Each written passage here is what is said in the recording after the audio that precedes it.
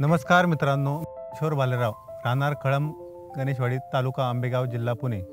मला मोजक कंपनीने एक प्रकारचे जीवाणू जैविक जीवाणूंचा एक प्रोडक्ट दिला होता.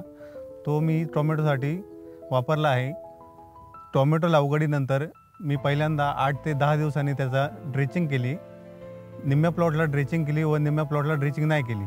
व त्याच्यानंतर साधारणतः चाळीस ते पन्नास दिवसाचा प्लॉट असताना पुन्हा मी एकदा त्याचे ड्रिप वाटे टोमॅटोला त्याचे द्रावण सोडण्या सोडून दिले. व त्या द्रावणाचा एवढा मला फायदा व रिझल्ट भारी जाणवले की त्याच्यातून ज्या प्लॉटला आपण जे जीवाणू सोडले त्या प्लॉटमध्ये झाडांचे फुटवे झाडाचा बुंदा व मुळ्यांची वाढ आणि ज्या प्लॉटला नाही सोडले याच्यात एवढा डिफरंट जाणवला की ज्या स- साईडला आपण सोडले त्याच्यातले झाडांचे जे फळांची साईज कलर व चमक याच्यात भरपूर मला फायदा जाणवला व या गोष्टीचा एक फायदा अजून अस- असा आहे की की हे द्रावण दुसऱ्या रासायनिक खताबरोबर पण सोडायला काही हरकत नाही. बाकीचे जैविक जैविक द्रावणसुद्धा बाकीचे खताबरोबर सोडता येत नाहीत.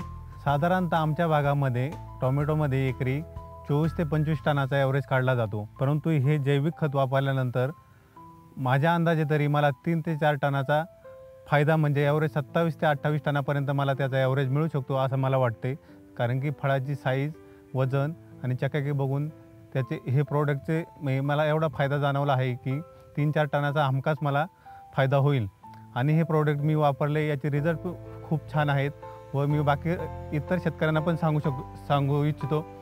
ह्या ह्या प्रोडक्टचा तुम्ही पण वापर करावा व त्याचा फायदा मिळवा. धन्यवाद.